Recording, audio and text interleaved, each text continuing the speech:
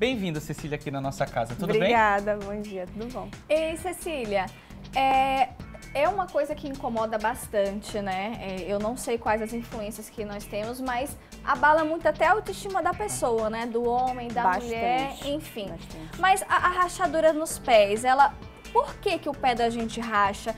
Tem alguma coisa a ver com a genética? É a falta de hidratação? Ou porque é uma coisa realmente que vai acontecer com todos os pés? Explica pra gente. Não, a rachadura no pé, ela acontece sobre efeito de aumento de peso, sobre patológico também. Uhum.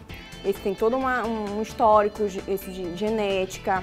Pode ser também em crianças por psoríase, que não tem cura, só tratamento. Uhum. Esse calçado muito bico fino para nós mulheres, ele influencia muito, porque acaba apertando, a pressão no pé é maior. Uhum. Então, mudança de clima, se o tempo está muito quente, a gente toma bastante água, o corpo se hidrata melhor. Uhum. Se o tempo está mais friozinho, a gente acaba relaxando, aí o nosso corpo vai ressecando a pele. Então tem todo um Entendi. histórico. Oh, Cecília, tem algumas profissões que precisam, exigem que o colaborador ele caminhe muito, ele corra muito, né? Os carteiros, uhum. né? A galera que trabalha aí nas ruas, né? Até Os, nas academias, nas personal academias, trainer, que passa o dia todo de essas tênis. pessoas que estão ali sempre caminhando, descendo ônibus, subindo ônibus, andando pelas ruas, subindo ladeira, descendo ladeira. É, elas são mais comuns para o surgimento dessas rachaduras? São. São porque tem toda a questão de não usar o sapato correto. Sempre os pacientes que eu pego, eu pergunto, qual a pontua tua pontuação? Uhum. E as pessoas têm o hábito de comprar a pontuação certinha. Não, você sempre tem que comprar uma pontuação a mais, porque o decorrer do teu, do teu dia a dia, do, teu, do teu dia, o teu pé vai inchar. Uhum. E quando incha, se tua pontuação está correta, ele vai apertar. Uhum. Se você comprar uma pontuação a mais, o teu pé vai ficar mais, mais confortável dentro do sapato. Entendi. A gente tem umas imagens que vai ficar passando que são alguns tipos de rachadura. A gente pode começar pelas crianças, e Cecília pode, explicando sim, pra gente. É, a gente costuma dizer que pele de bebê, né? O pezinho de criança dificilmente vai ficar ali, né? De uma maneira que fique rachado. Mas isso acontece em criança por quê e qual é o tratamento? Geralmente criança é por conta da psoríase, que é um, uma doença que ela não tem cura, ela tem só tratamento. Uhum. Então, assim, eu sempre, quando aparecem esses casos, eu peço para ir ao dermatologista e depois do dermatologista, eu acompanho mensalmente ou de 20 em 20 dias. Às vezes as mães também ficam com muito medo, porque tem alguns cremes que... É uma questão de você ir adaptando os cremes. Uhum. Não, depende da pele, tem, tem determinada hidratação que não vai dar naquela criança. E, e é um tratamento contínuo para o resto da vida, porque a psoríase ela não tem cura, ela vai voltar, o pé resseca muito, racha, sangra. Então tem que ser um tratamento contínuo e as mães têm que estar bem atentas. Entendi. Eu vou pedir para nossa produção colocar aí para o pessoal de casa acompanhar a imagem e a Cecília, ela falar exatamente quais são esses casos que o nosso telespectador está vendo. Uhum. Esse caso é rachadura profunda.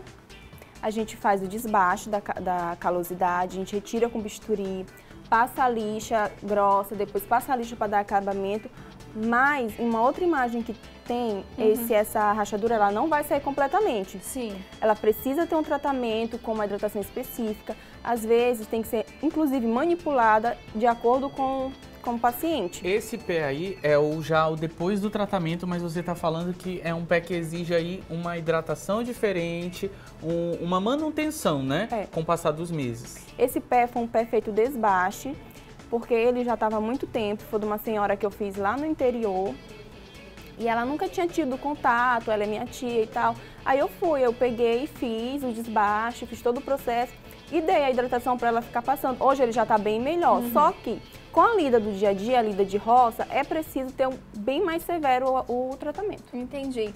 A gente tem mais imagens de alguns pés rachados. Olha aqui mais um aqui.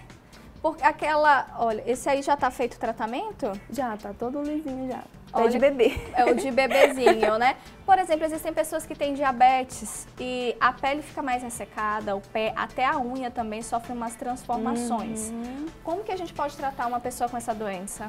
O pé diabético, ele é um acompanhamento bem mais complicado, Por quê? Tem toda aquela história de o diabético. Eu, particularmente, como profissional, eu nunca passo creme à base de ureia. Uhum. Porque tem outros cosméticos que você utiliza sem ter ureia que faz muito bem para o diabético.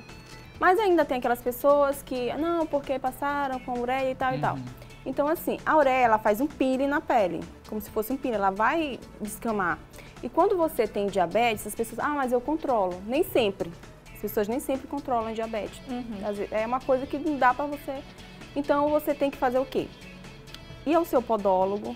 O tratamento em diabético, eu sempre recomendo, não vai de 30 30 dias, vai de 20 20 dias. É feito todo o desbaste, é feita a hidratação. Não pode usar determinados tipos de calçado. O diabético ele não pode estar mexendo em casa no pé, porque se aquela rachadura pode virar uma úlcera crônica. Uhum.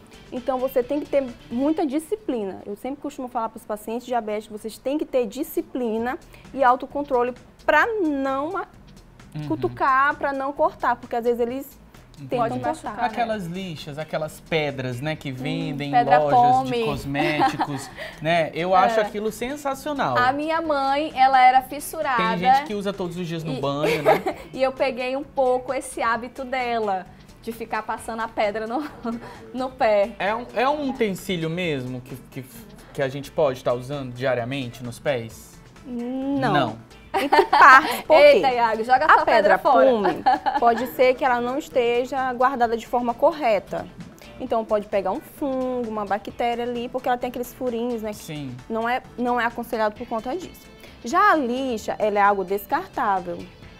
Você pega, bota, tem o um refil para você tirar. Uhum. Só que ela é, um, é, é superficial. Ela não vai fazer o mesmo o mesmo efeito que um desbaste. Uhum. Desbaste, o desbaste é você está falando bastante, é como se fosse, a gente raspa. É, é, é, é mais o ou menos assim. É o pé rapado. Só que é com bisturi. A gente coloca emoliente, vai, inclusive no meu Instagram ele tem. Uhum. A gente vai desbastando com bisturi para tirar vai tirando toda, aquela pele seca. Sim, toda aquela queratina morta a gente tira. Tem uma certa quantidade que a gente precisa deixar, porque senão tu anda vai machucar teu pé. Mas em questão do, da, da, da lixinha, ela não é muito aconselhada porque é só algo que vai mais mascarar, entendeu? É só. Do que resolver o é, problema. Não vai resolver o problema vai e pode machucar. Se a pessoa tiver, às vezes, a rachadura, ela tá fina, mas ela tá muito seca. Uhum. Então, aí, se tu for passar a, a lixa, vai te machucar. Uhum. Em paciente diabético, isso é muito grave. Vai machucar e fazer... E que outras dicas você dá para o pessoal de casa que tá com problema do, com rachadura nos pés? Com relação a calçado, hidratação e até a visita ao podólogo? Calçado.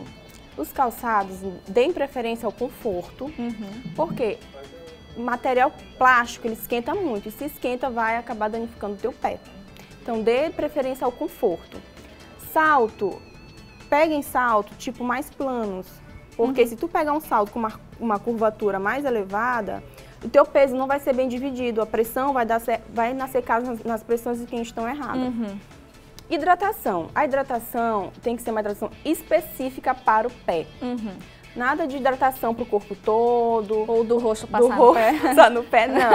É hidratação específica para os pés.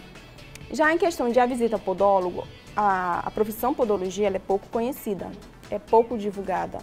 Até pela questão de não ser regulamentada e tal e tal. Então, assim, é muito bom você pesquisar, saber o profissional que você vai, porque tem pessoas que já chegam com trauma de não uhum. foi legal. Mas você, o correto é visitar de 30 em 30 dias. Para as pessoas que não estão em tratamento mais, digamos que um tratamento mais delicado. Uhum. São de 30 em 30 dias. Tá ótimo. Tirei todas as minhas dúvidas. E você, Iago? Também.